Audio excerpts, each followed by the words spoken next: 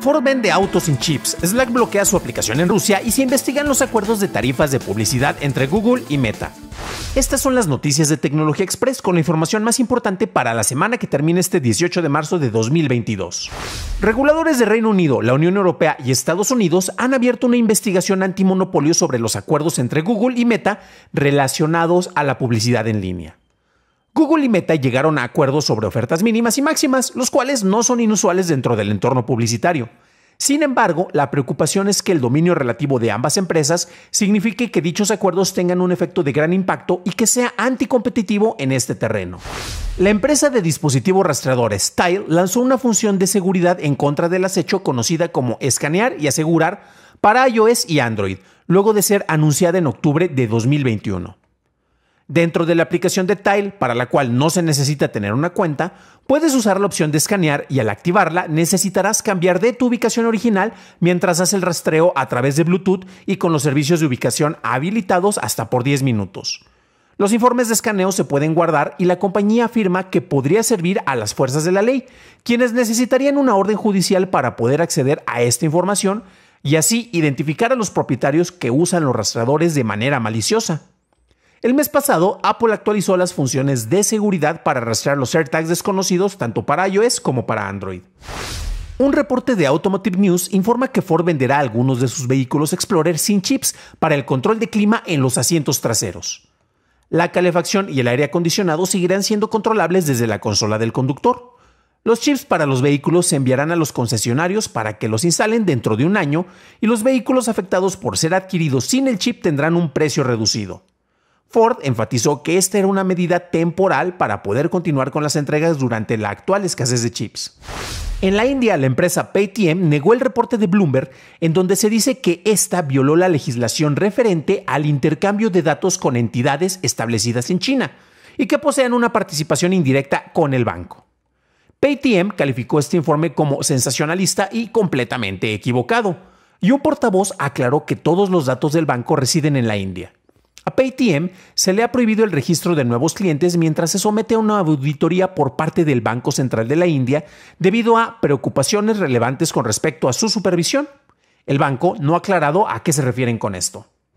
En Reino Unido, después de la compra de la empresa de ciberseguridad Avast por parte de Norton LifeLock, se está investigando el proceso por la Autoridad de Mercados y Competencia, debido a que el acuerdo posiblemente perjudique a la competencia y ofrezca peores condiciones a los clientes de dicho lugar. La autoridad pidió a las empresas que presenten propuestas sobre las implicaciones de la adquisición o podrán enfrentar una investigación a profundidad por su parte, Norton LifeLock dijo que la investigación retrasará el que se concrete el acuerdo de 8.600 millones de dólares, el cual se esperaba finalizar para el 4 de abril, pero podría finalizar hasta mediados o finales del 2022. Bloomberg reportó que el proveedor de Apple, Foxconn Technology Group, reanudó operaciones parciales en Shenzhen mientras que la ciudad permanece bloqueada debido a un brote de COVID-19. Para obtener la aprobación después del cierre del lunes, la compañía adoptó un proceso de bucle para aislar a los empleados y que estos tuvieran acceso solo a espacios limitados. En un comunicado, Foxconn dijo que este sistema solo se puede realizar en campus que incluyen viviendas para empleados e instalaciones de producción, y que la compañía también está dando seguimiento cercano y aplicando las medidas de prevención de pandemia exigidas por el gobierno. Axios reportó que Slack bloqueó el acceso a algunos clientes en Rusia para cumplir con las sanciones internacionales y las políticas de su empresa matriz, Salesforce, la cual dejará de operar en ese país.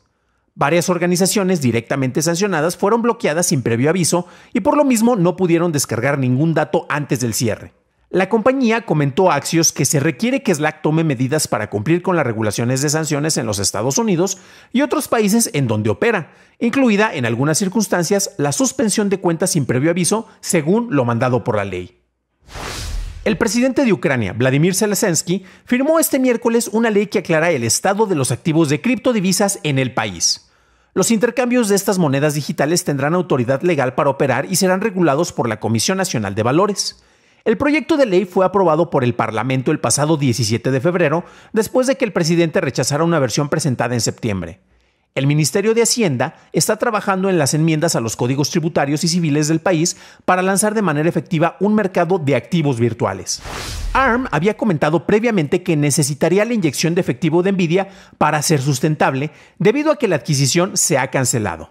The Telegraph reporta que habrá despidos entre el 12 y el 15% de su personal, lo que serían cerca de mil personas. El CEO de ARM, René Haas, comentó a su personal en un correo electrónico que, para seguir siendo competitivos, debemos eliminar la duplicación de trabajo ahora que somos un ARM y debemos parar las labores no indispensables para garantizar nuestro futuro éxito.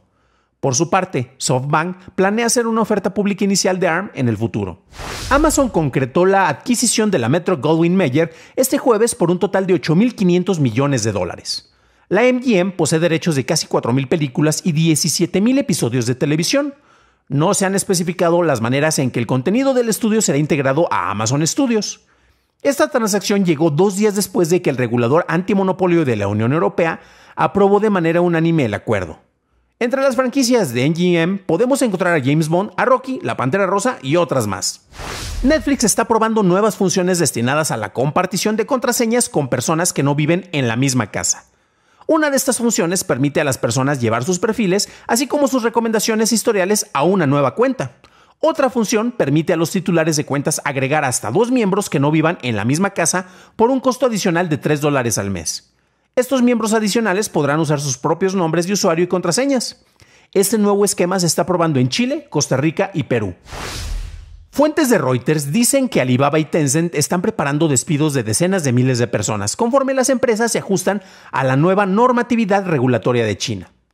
La represión por parte del gobierno y la desaceleración económica han frenado el crecimiento de ambas empresas. Tencent cuenta con cerca de 94 mil empleados y Alibaba con 39 mil, y esta última ya ha empezado con los despidos. Twitter eliminó su interfaz de seguimiento cronológico en la pestaña de iOS, la cual mostraba una pestaña separada para fuentes ordenadas algorítmicamente o cronológicamente. Twitter dijo que esta acción se tomó basados en comentarios de los usuarios. El presidente de la Liga MX, Miquel Arriola, y el presidente de la Federación Mexicana de Fútbol, John de Luisa, anunciaron la creación de una dirección de seguridad e inteligencia, así como la implementación del Fan ID usando reconocimiento facial. A mediano plazo se espera que estas medidas sirvan para mejorar la seguridad de los estadios, facilitar el acceso a eventos usando el reconocimiento en lugar de boletos, así como la implementación de boletos biométricos de los cuales no habría reventa. Para una discusión a fondo de los temas mencionados en este resumen semanal, puedes revisar los episodios diarios de este programa o acudir a la página de nuestro programa hermano en dailytechnewshow.com, en donde también encontrarás notas y ligas a las noticias. Si encontraste útil este episodio, puedes decírmelo dejando una calificación, de preferencia positiva, en Spotify o en Apple Podcast. Y recuerda que también nos puedes encontrar en lugares de video como TikTok, Kawaii o incluso en YouTube. Gracias por tu atención, que tengas un fantástico fin de semana y estaremos escuchándonos en el próximo programa.